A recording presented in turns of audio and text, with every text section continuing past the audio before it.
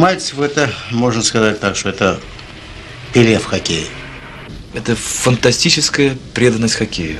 Его появление в нашем хоккее – это явление, которое оставило глубокий след. Для Саши хоккей – это просто вся его жизнь.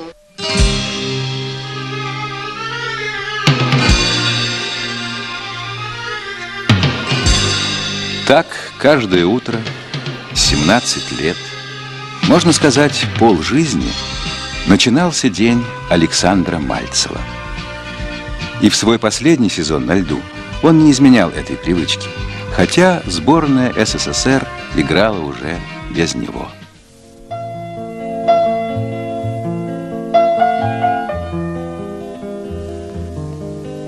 А начиналось вот здесь, на Вятской земле.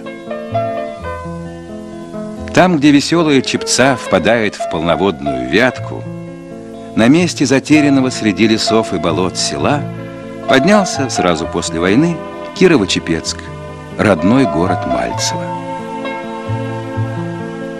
Распростился с ним Саша совсем еще мальчишкой. Едва минуло 16 лет. Впрочем, разве можно проститься со своей родиной, с детством, с отчим домом?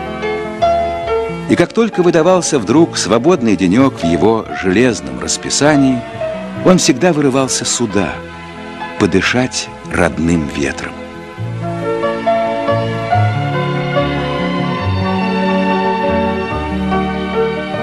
Давай, Сашенька. Пятки пельмени первому тебе. Почему? Да, так велели. Так велели. У Николая Михайловича, старого солдата, своими шагами отмерившего путь до Берлина, и Анастасии Степановны, детей семеро, четыре дочери, три сына. После войны перебивались на одну отцовскую зарплату, слесаря шестого разряда. Но все встали на ноги крепко. Теперь уже внуки пошли. Все одинаково любимы, одинаково дорогие родительскому сердцу. У всех Мальцевых добрая слава в городе. Но всемирно знаменит один Александр Мальцев. Я начал лично заниматься хоккеем где-то в 5-6 лет. Начал вставать на коньки. У нас был хороший двор. Мы сами заливали, за, сами чистили. На дворе расчистит, после вьюги лопату возьмет, расчистит и давай воду носить бетона. Обольет это лестницы, я и говорю, Сашка, ты ведь опять все лестницы зали. Да, мам, да я все сделаю. Вот, о, застынет у него, уйдет кататься. Это он уже в первом классе был. Мы гоняли эту шайбу примерно до 10, до пол одиннадцатого. Сделаешь уроки и обратно туда. Мы против были, я всегда была против. Мы ведь не видали это хоккея.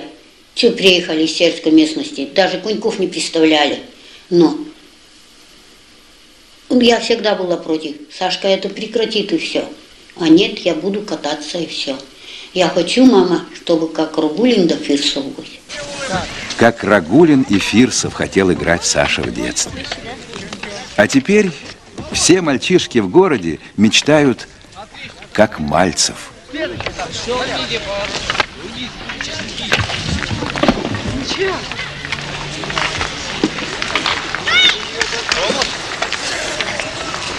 Можем хотя бы попробовать. А можем пригончик вещи, да? О знаменитом мастере хоккея, кажется, знают все его поклонники. Но вот о том, как Мальцев стал Мальцевым, могут рассказать, пожалуй, только товарищи школьных лет. Например, Александр Валикжанин. Мороз 40 на улице. Люди, вернее, как сказать, люди, в школу не ходим. Запретили школьные занятия. Холодно. Звонит. Покатаемся. Покатаемся. Приходим на коробку. Надеваемся коньки, спортивный костюм, перчатки, клюшки. Один на один играем в зону. Холод, уши как пластилин. Друг другу шапочками растираем с снегом. Шайба иногда попадешь в штангу, она на две-три части раскалывается. Он никуда у нас, ни во что не вовлекался, ни на какие на танцы не бывал, ни разу никуда не бывал, ни во дворец, никуда, только лишь стадион ему было мир. Только миль был стадион ему. Вот так. Маленький каток как магнит притягивал к себе Сашу. Это было настоящее увлечение, страсть. Только ЧП могло задержать Сашу дома, если договорились о тренировке. Как-то я тоже вот звоню ему. Говорю, Саш, катаемся? Он говорит, не могу. Говорит. Я говорю, что такое? Почему не могу? Да, ты понимаешь, говорит, вот мать заболела, нужно подъезд убирать. А мама у него убирала подъезды. И вот он, мы же были маленькими, это вот. И он вот, мама заболела, нужно убирать. А подъезд, это же, там же нужно скоблить, нужно мыть, нужно... Всегда помогал. Не был он лодырем. Не был. У меня ни один парень лодырем не был. А не знаю, мы так их приучили к труду. К труду приучали. Папка и так говорит. Парни, любите труд. Труд человека не портит. А мимо попадешь? Не было в городе мальчишки талантливее в хоккее, чем Саша Мальцев. Говорят, не было и более трудолюбивого игрока. Он был предан хоккею порой до смешного. Вот какой случай вспомнил товарищ по городской команде Александр Кулябин. Ну, был у нас в Москве эпизод. Впервые мы Сашу взяли в Москву на сборы в Сокольники. Тренировались мы с трех, с четырех часов ночи. То есть загруженность льда была в Москве очень большая, и нам вот это давали ночное время.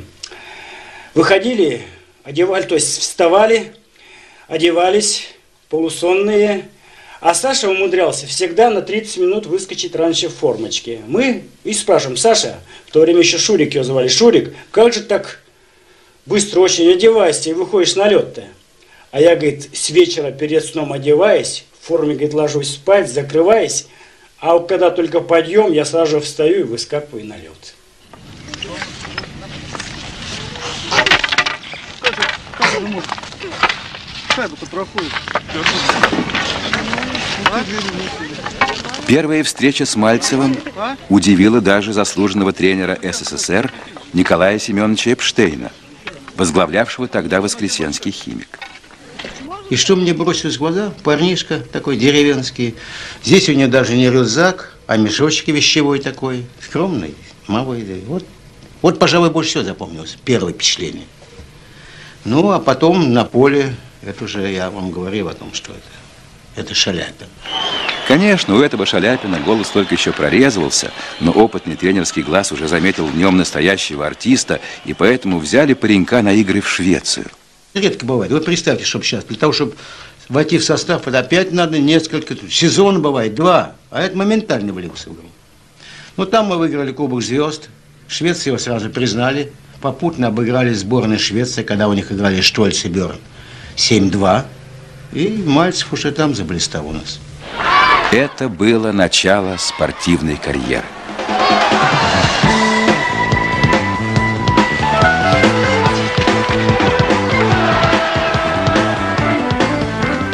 После Швеции Саша вернулся в свою команду в Кирово-Чепецк.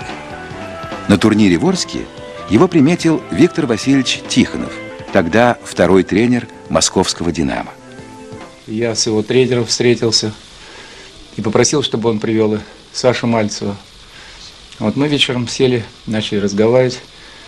И я ему задал прям такой вопрос. Я, вот здесь говорят, что ты хорошо играешь, но ты не произвел на меня впечатление. Он так расстроился, говорит, «А, Виктор Васильевич, а вы никуда не уезжаете? Я говорю, да нет. А вы будете нашим на финальном матче? Конечно, обязательно буду. Ну, пожалуйста, приходите. Ну, то, что он на следующий, в следующий вечер показал, это было потрясающе. То есть он, по-моему, э, забил ну, пять голов, наверное, из своей передачи. Они выиграли как раз этот финальный матч, вышли э, в первую группу. Кинорепортеры тоже стали следить за восходящей звездой. Это кадры той поры, когда Александр Мальцев уже играл в «Динамо». И когда я этого молодого, щупленького мальчишку привел, ну, значит, такое было, ребята стоят, ну вот Виктор Васильевич опять какого-то молодого. Я говорю, вы посмотрите сейчас, этот молодой он вам покажет. и на что он способен. И вот это бывает очень редко, когда в одной тренировке он так сыграл, что, что сразу с этой тренировки авторитет у него был. Я вот вспоминаю первую тренировку, когда он мальчишкой пришел вот на, к нам. Вы знаете, он так играл, что из нас, из зрелых уже мастеров, вот своей игрой он начал делать, откровенно говоря, дураков. Нас это, в общем-то, разозлило. Мы стали играть против него жестко, грубо, стали убить. Но когда мы посмотрели, что этот мальчишка, в общем, продолжал играть, то мы поняли, что к нам в команду пришел большой мастер. Рассказывает Владимир Юрзинов. Чтобы понять, почему Мальцев такой талант, надо было видеть, как он тренируется.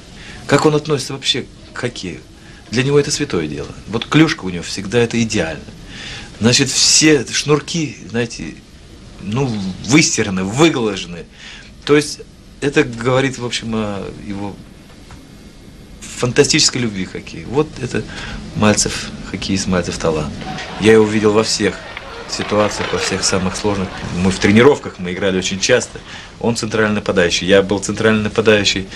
Но я вам скажу, он был непредсказуем ни для кого. Ни для кого. Ни для защитника, ни для нас, ни для кого.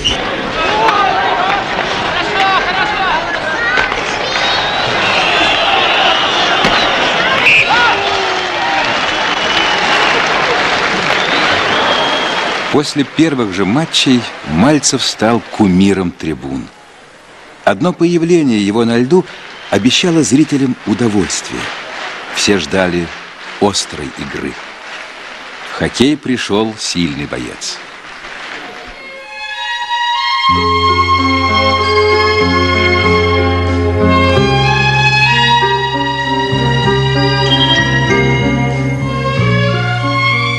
Но у этого грозного форварда оказалось нежное сердце.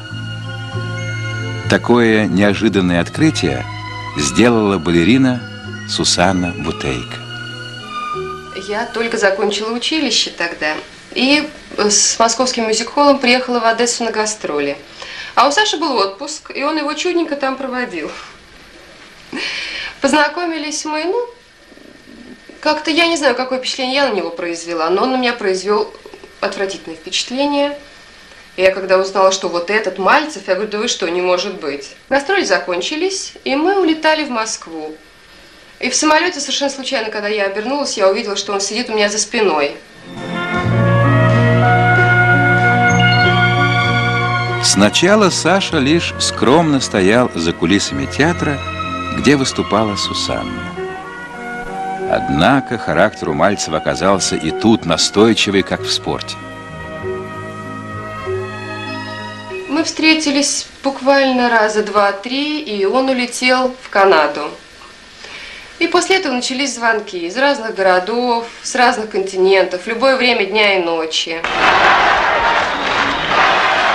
В те дни Мальцев играл особенно вдохновенно. Зрители и не догадывались о причине – как раз накануне свадьбы ему предстояло сыграть матч с противником, у которого невозможно было выиграть. Но и проиграть Саше было тогда никак нельзя. Самый памятный матч все-таки у меня был с командой ЦСКА в канун нашей свадьбы. Я не хотела идти на игру, хотя, в общем-то, я ходила почти на каждый матч, во всяком случае, до свадьбы. Но он меня попросил.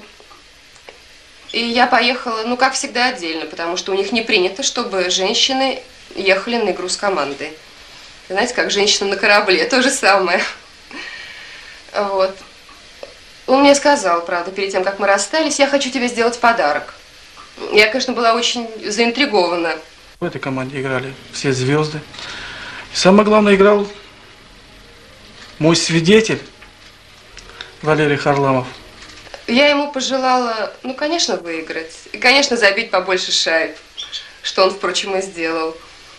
Чтобы у него было хорошее настроение, и свадебный наш день ничем не омрачался. Матч был очень сложный, жестокий. Что-то мы сыграли 7-7, но я здесь сделал все, что мог.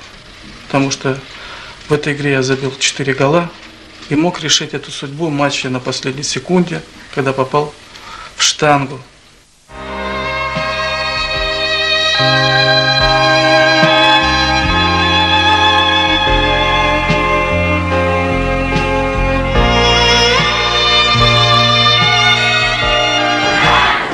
Мальцев вошел в сборную Союза, словно играл в ней с рождения.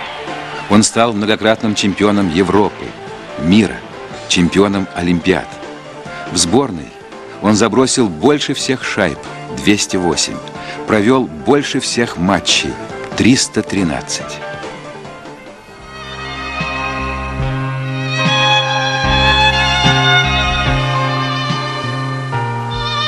Но даже у самых знаменитых людей жизнь идет своим чередом.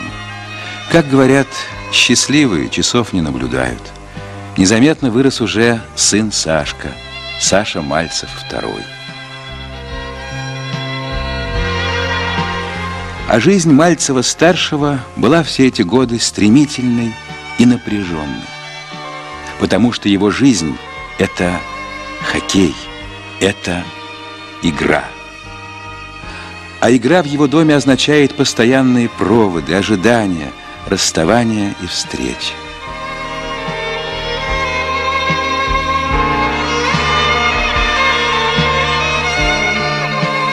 Казалось, так будет бесконечно, всегда. И вдруг последний сезон.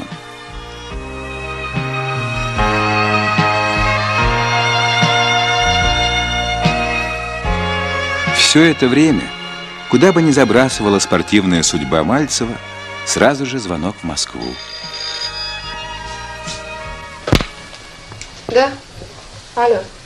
Привет. У нас все хорошо. Да.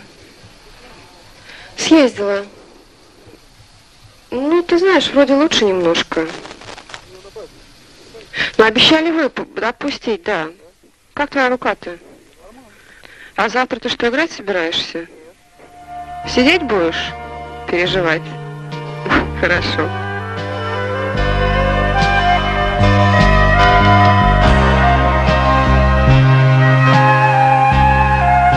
Мы часто аплодируем большим спортсменам за то, что они приносят в наш дом радость. И совсем не задумываемся над тем, как сложна их жизнь, как много времени и сил отнимают эти постоянные разъезды, как мало остается на свой дом, семью. У хоккеистов каждая игра – это сражение. Не зря же их зовут ледовыми бойцами. Хорошо сражаться тому, кому родные стены помогают. Сколько стоят яблоки в первом Так в первом, а не в двух первых. Ну, думай же головой. Надо 48 из Ну, наконец-то. Ой, полжизни за такой задачей. Будет 24. Ну, это что 24 такое? Ну и все. А ведь у жены, между прочим, и театр по-прежнему, институт, балетмейстерское отделение, и Сашка, который уже в третьем классе.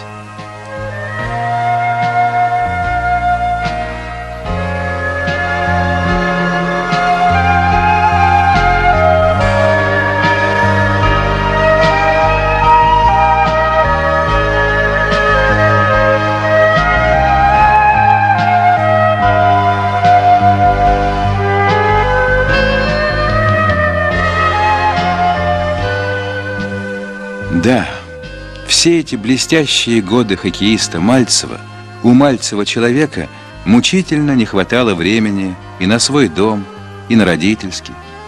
Приходилось вечно жертвовать. Ради славы? Нет. К славе Мальцев всегда относился спокойно. А вот спокойно относиться к игре он не мог никогда. В прошлом веке человечество выдумало хоккей с шайбой. В нынешнем позаботилось о возможности передавать замечательную игру по телевидению.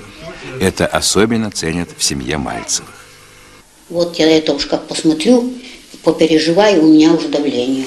Уж приезжают, уколы дают. Они сразу говорят, это ты уж все, опять смотрела телевизор. Ну, хоть Как бы то ни было, всегда смотрю.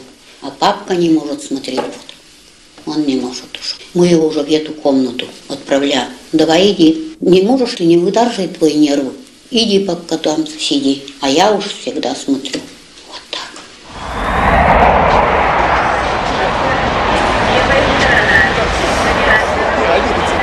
А, 13, Сашка, 13, год 13.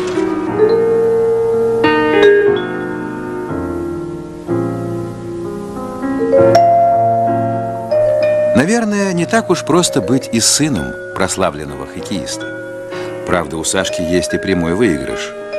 Вполне можно прослыть неплохим филателистом, собирая только марки – привезенные отцом со всего света. Ду. Из разных городов, из разных стран, с другого континента, здорового, больного, веселого, выигравшего, радостного или, наоборот, огорченного проигрышем.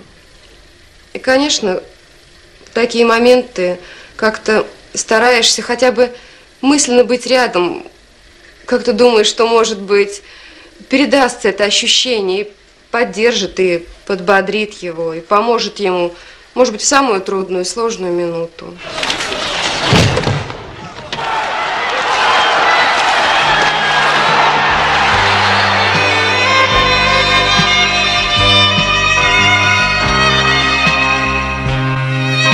Сколько шайб забил Мальцев в те или иные ворота, знают все спортивные журналисты и болельщики. А вот сколько ударов принял он на себя, об этом помнит, пожалуй, только Сусанна. Была травма. Перелом руки. Рука в гипсе была 4 месяца. Три раза Саша ездил без меня в Центральный институт травматологии – и четвертый раз он сказал, знаешь что, поедем со мной на счастье. Мы поехали. И я ждала на улице, на лавочке. И страшно волновалась, потому что его не было очень долго. Час прошел, полтора, два. И я понимала, что потому как он выйдет, так и будет дальше. Но я наконец дождалась, потому как он не просто вышел, а вылетел из этой двери. Я поняла, что все будет в порядке, и он будет играть. Выходишь из больницы, приходишь в родной дом, почувствуешь теплоту. И после этого все-таки вот такая жажда выйти на поле, потренироваться, поиграть.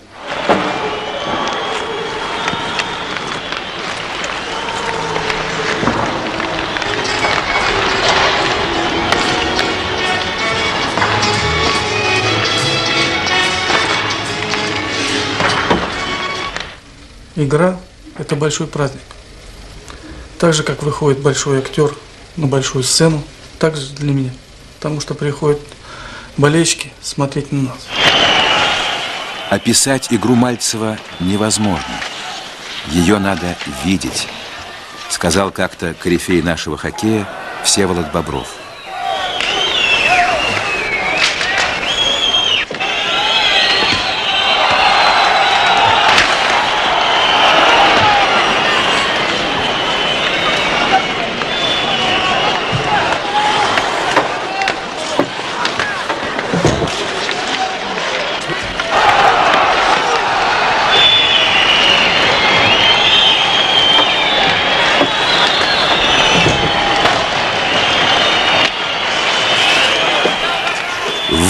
Класс Мальцева в том, что на площадке он моментально теряется из виду не только для зрителей, но и для соперников. А потом возникает откуда-то и забивает гол. Тонко подметил Анатолий Фирсов.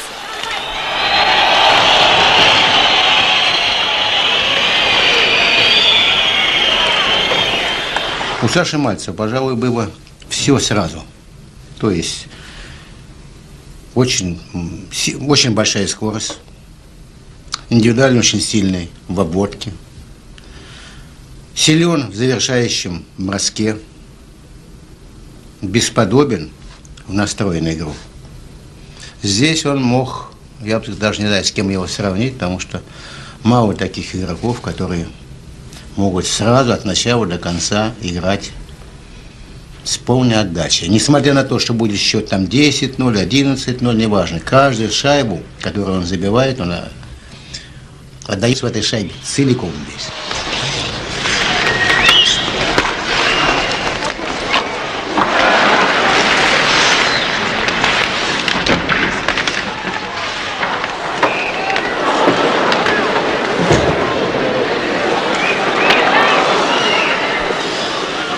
Мальцев играл со Старшиновым, Фирсовым, Харламовым, Якушевым и многими другими партнерами. И со всеми, как истый гроссмейстер игры, быстро находил общий язык. А судьба к нему была не совсем благосклонна в смысле вот его э, партнеров. Так он и не нашел, вернее, для него не нашли э, такого звена, которое отвечало его э, огромному таланту. Свои последние выступления на льду Александр Мальцев провел так же ярко, так же страстно, как и в те уже далекие дни, когда мы увидели его впервые в большом хоккее, увидели и полюбили.